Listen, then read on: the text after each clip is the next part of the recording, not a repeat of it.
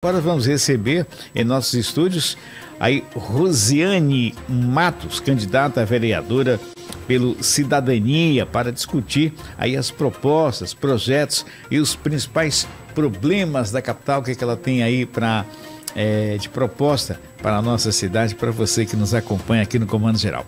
Então fica à vontade, nosso querido Natan, nosso querido João Magalhães. Nossa entrevista terá duração de 15 minutos, né? A gente vai começar a partir de agora, o tempo será colocado na tela.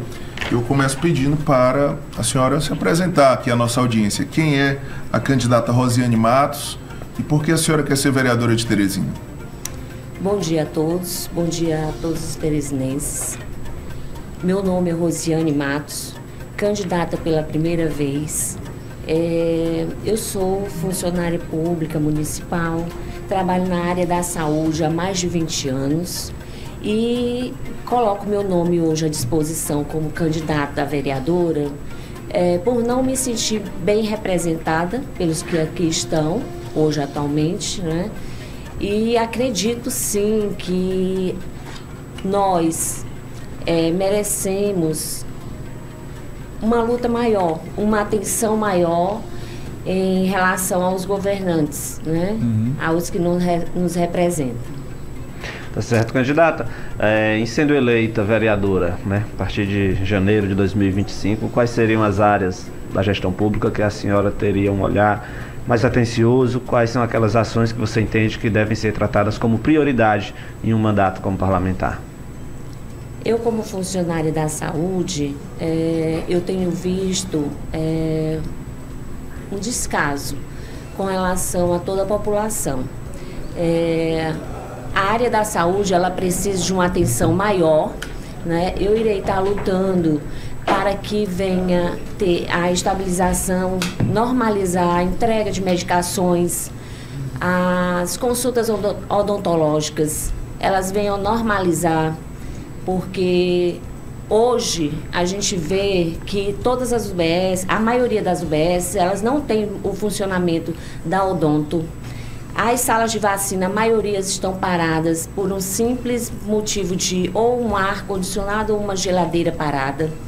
É, as medicações, as, a população ela vai ao posto, ao UBS, para pegar sua medicação de hipertensão, diabetes, ela não tem o retorno necessário. Então, a maioria dessa população que vai ao posto é porque ela necessita, ela não tem aquela condição financeira para comprar aquela medicação. E isso faz com que elas retornem e enchem os hospitais, porque se eu não tomo minha medicação da hipertensão, eu posso vir até um pico hipertensivo, já vou procurar não mais a unidade básica e sim o hospital e isso já vai ter mais outra demanda, uhum. né? E nos hospitais também, como funcionária, a gente vê a escassez de material, matéria-prima para o, o próprio funcionário trabalhar, né? Um simples aparelho de pressão que você tem que que aferir a, a, de 50 pacientes, você tem no hospital dois aparelhos, isso é inadmissível. Tem que dar suporte tanto para a população como para o próprio funcionário trabalhar. E também a gente vai ter aquele olhar para a questão da educação. Na área que eu moro, que é o Grande Parque Sul, lá ela tem uma grande deficiência na questão da educação de, em tempo integral. Nós temos somente uma CMEI, ensino fundamental, todos os, a, os adolescentes eles têm que se deslocar para outros bairros porque nós não temos colégios em tempo integral e nem é, e muitas vezes as mães elas precisam colocar o seu filho em tempo integral. Por quê? Porque precisa do trabalho, precisa trabalhar. E para ela é mais seguro deixar os seus filhos na escola do que metade na escola, outro tempo sozinho. E muitas vezes não pode estar desamparando essas crianças, né? Candidata, é, a senhora falou aqui que mora na região do Grande Parque Sul, uma região que vem crescendo muito aqui na capital e um dos problemas que a gente ouve muito, não só no Parque Sul, mas em outras regiões, diz respeito ao transporte público, né? Há uma dificuldade e o transporte é, de certa forma, uma das principais pautas de debate nessa eleição. Uhum. Como vereadora, o que a senhora vai propor para ajudar a resolver essa crise no transporte da capital? É, a gente vai estar tá trabalhando junto ao nosso candidato a prefeito Fábio Novo para intensificar e cobrando ele a questão do aumento do número desse transporte, né, da quantidade de números, porque realmente a deficiência lá no Grande Parque Sul é enorme. Não somente do, do, do ônibus, né, mas em muitas outras áreas. E a gente vai estar tá intensificando, cobrando, para que seja efetivado. Realmente ele em, coloque em prática o que está sendo colocado hoje em pauta. Antes as mulheres é, eram convidadas, chamadas, né, para comporem as chapas, só para preencher, digamos aí, tabela. Mas hoje, é, hoje não, a gente tem visto que tem aumentado o número de mulheres, tanto no Senado, na Câmara dos Deputados, na Assembleia, enfim, na Câmara de Vereadores. Então, isso realmente é um estímulo, né, para a senhora que está indo pela primeira vez aí galgar, né, um, um, um, um lugar na vereança? Sim, é um estímulo e eu acredito. É a vontade sim, de trabalhar acima de tudo. Né? Isso, é a vontade de trabalhar. E eu acredito sim que as mulheres elas possam ocupar sim uma cadeira, como já temos, né? Poucas, mas temos. E acredito... O povo tem acreditado mais. Tem, tem acreditado mais, tem é, até incentivado mais, né? E nós estamos aqui sim para chegar até uma cadeira sim, conseguir conquistar, estamos lutando. É como na música, né, vereador? Porque, digamos assim, desculpe lhe atrapalhar, sim. mais um exemplo. É, Marília Mendonça, né, é, é um, era uma compositora, sempre esteve atrás de grandes cantores, ou seja, mostrou talento, foi o que foi, fez o que fez, enfim, ou seja, a mulher tem mostrado cada vez mais que é capaz. Sim, as mulheres, elas sim, têm mostrado cada vez mais e e a competência. A, a mulher ela não é menos, uhum. não é menos de, de forma alguma do que um homem, né? Ela até muitas vezes ela se sobressai, supera, se supera né? do, do que os homens, porque ela muitas vezes dá conta de casa, dá conta dos filhos, Mais do detalhista. esposo, é bem detalhista e com certeza, né? Ela chega quando a mulher quer, ela consegue. Uhum. Então, a gente está aqui lutando para conseguir essa cadeira.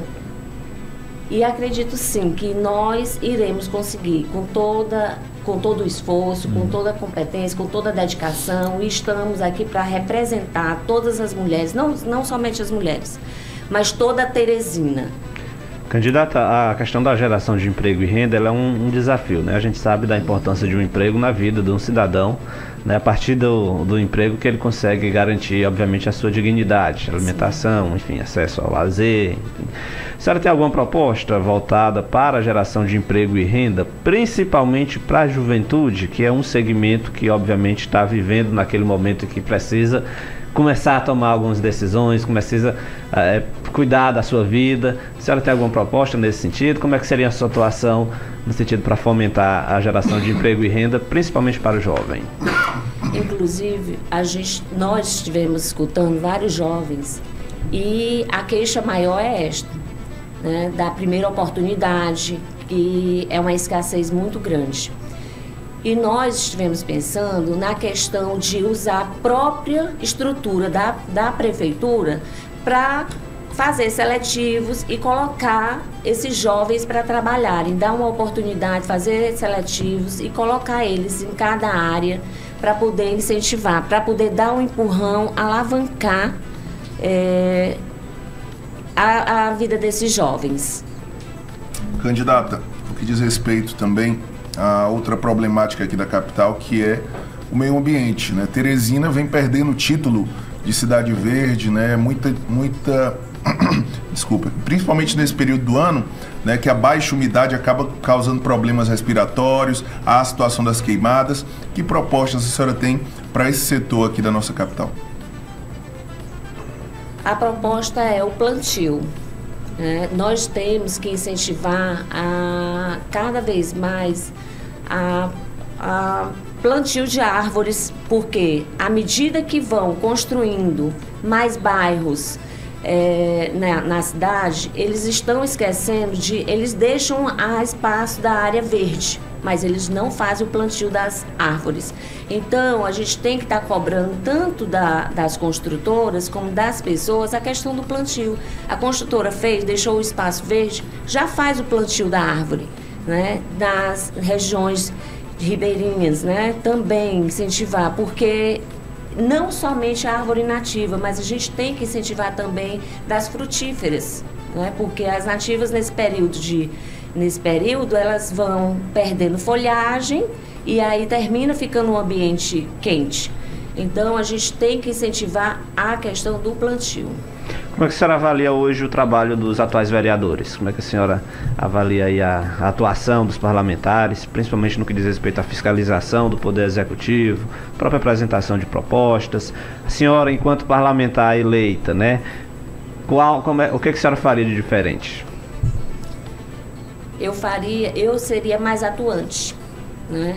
Esse período de, dessa gestão, a gente viu que a maioria dos, dos vereadores eles foram ausentes, né? coniventes, é, não lutaram pelos nossos direitos, ficaram assistindo de, de plateia é, tudo que veio acontecendo na cidade e no final só apontaram o dedo para o, para o prefeito.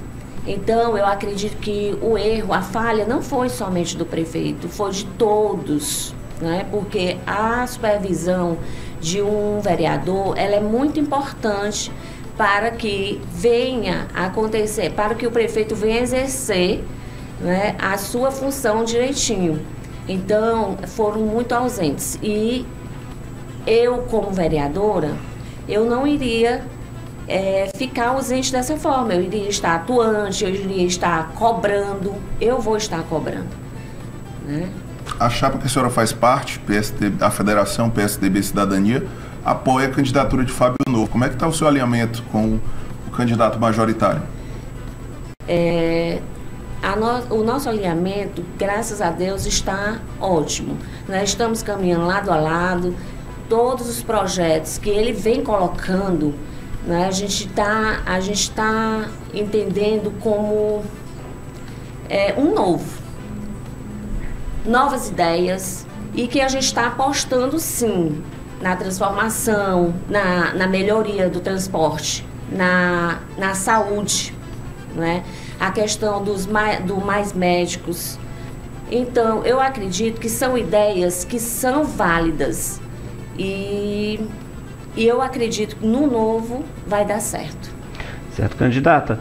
A gente sabe que, obviamente, toda a cidade precisa de um, uma atenção do Poder Executivo, mas as periferias elas demandam uma atenção bem maior porque normalmente o Estado chega bem depois lá com a questão do saneamento, com a questão uh, da educação, enfim, a periferia da cidade sempre precisa de uma atenção maior nesse momento. A senhora teria alguma proposta, alguma atuação no sentido de, de fazer com que o poder público municipal se fizesse mais presente nas periferias e como é que se daria essa presença?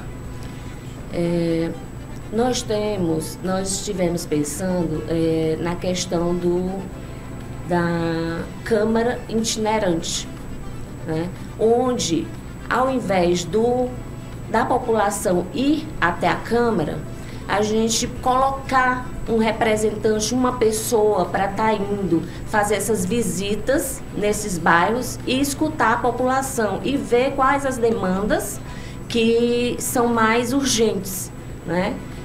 E eu acredito que essa Câmara itinerante, ela seria de grande valia para a população, porque muitas vezes é, a, a pessoa ela não tem como chegar até o vereador são muitas, o, o, até o transporte público, até para ela chegar lá, no momento não tem como ela ir.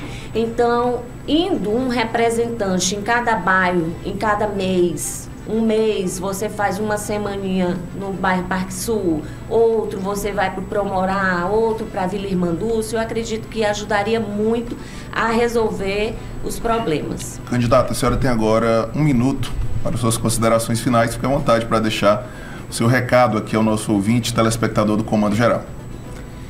Eu queria agradecer a vocês pela oportunidade, a, a, a Rádio TV O Dia. Eu, meu nome é Rosiane Matos, pela primeira vez candidata pela Federação Cidadania PSDB e com o número 23 mil. E eu queria pedir o apoio de toda a população e o voto para no dia 6 de outubro viesse a votar 23.23000 e para o nosso prefeito Fábio Novo 13. E obrigada.